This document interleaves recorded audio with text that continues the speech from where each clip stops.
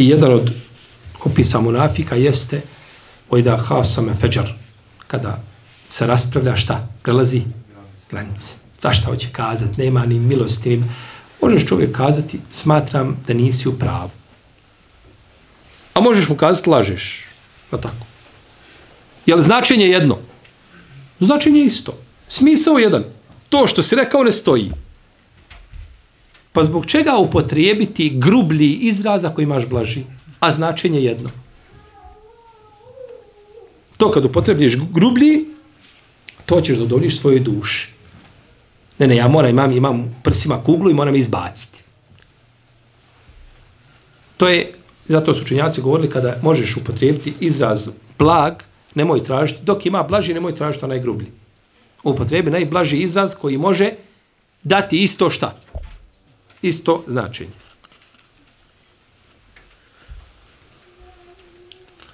Vi znate da je Ebu Bekr da je prestao izdržavati Mistaha ibn Sasu. Ili rekao, neću ga više izdržavati nakon što je pričao majci vjernika, iako on nije on izmišljao, on je prenosio ono što se priča, kolale priče, Abdullah ibn Ubej ibn Salul je po, po, ovaj, to klupko počeo odmotavati i, jel tako, upecali se neki ashabi na to, poput Hamne bintu Džahši i drugi neki koji su prepričavali da je, eto, jeli, ostala je Ajša sama sa uh, Safanom ibn Mu'attalom, jeli, priče koje se prenosile, šta je bilo, haj znaj šta je bilo, šta se desilo, nisu ništa izmislili od sebe, nego priče prenosili koje se čuju.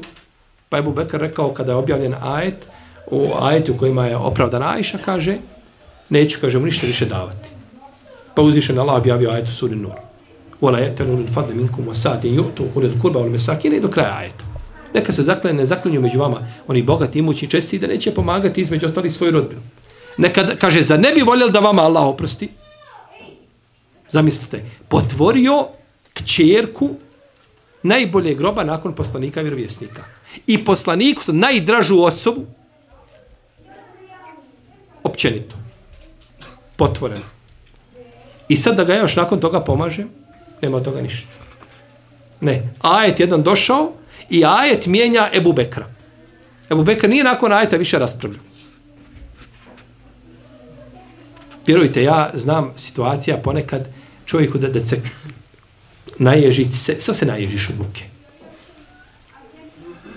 Neko te nešto pita, ti mu citiraš ajet koji je jasan po tom pitanju i on klima glavom ovako.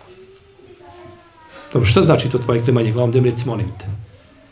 Kod nas se klima glavom gore dole kada prihvataš, a lijevo desno kada ne prihvataš, to je poznato. Malo ko prihvata lijevo, i da kažeš, jesam, jesam grešnik, jesam pogriješio, a, a bojim se da je to pokušaj traženja opravdanja na, na jedan izvještačen način, je tako? Kako da ti ja to protumačim?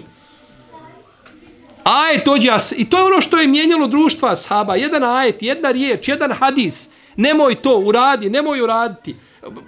Čovjek dužan, čovjek u pare, raspravljaju se Abdullah, uh, raspravlja se ovaj, uh, Ibn Abi Hadred i, i, i uh, Kab Ibn Malik, raspravljaju se u džami po pitanju duga, poslanik otvorio zavis, kaže, Kab, kaže, oprostimo pola duga, ti kaže, ustani, kaže, nađi drugu polovinu, vratimo, kaže, završeno Allah poslaniče riješen problem koji se danas 30 godina se vuče po, po sudnicama i naslijede to i djeca. Ovaj naslijedio od babin problem i ovaj babin problem i nastaje on dalje ići po sudnicama. Za šta? Za put. Ne može čovjek proći traktorom, treba mu još 20 cm i za taj jedan stup, znači Dunjaluk se digao, kaže poslanik, oprosti mu kaj ti i završi. E, tu je razgled njih i nas. Što danas može čovjek kaži, bi pogriješio si, nemoj tako. Pa dobro, kaže, nisi ti jedini daje, ma i drugi daje. I on nazove drugog, da upita i drugog, šta drugi kaže, jel tako? Dok ne dođe do onoga koji kaže, Boga mi, ovaj, čini mi se da si ti u pravu. Čini li se čini? Eh, kaže, Allah te nagradio, to sam trebao da se čini. Pa čovjek može ponekad blagom riječju riješiti problem lijepim pristupom i načinom, na način jel, da, da ne pravi turbulencije nikakve i mnogi problemi braću, koji susreću u našim porodicama ovaj mogle bi se riješiti na taj način. Ali se upravo ne rješavaju zato što kada vidimo grešku pristupamo kao da, je, kao da smo ja i ti nepogrešivi. Nikad greške ne pravimo. To u, u deset godina jedan mekruh. Ako ili ili i sad dođeš i vidiš u kući grešku koja, ona jeste greška, ali ti njoj daješ dimenziju, ti nju na, na, na, na, na, još napumpaš više. Daješ joj, vidiš tuđu grešku puno veću, puno veću nego što treba da bude i onda nakon toga nastupaš kako nastupaš i naravno da to i jedan dan, jedan put, pa drugi put, pa treći put, pa četvrti put i onda se tako ljuli odnosi u porodici i onda jedno dovede se do situacije više da babo ovaj prije nego što što ti ukoriš nekoga on je u strahu već gotovo. Šta će sad kazati? Ovaj desno se tako?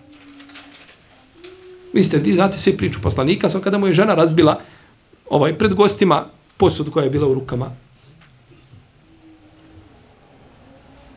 Posudu, poslaniku sam razbije žena posudu zbog ljubomore koja je bila i kaže, eto, eto šta mi je majka vaša, kaže, razljubomorila se i razbila.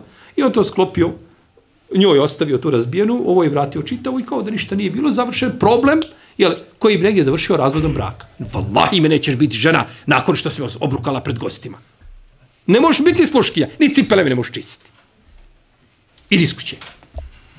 To poslanik riješi na jednostavan način. Šta je problem? Problem je eho. Ego. Kažemo eho zato što to prelazi ode. Svakoga uznemirava svojim egom. Ja mora, mora to moje, je tako?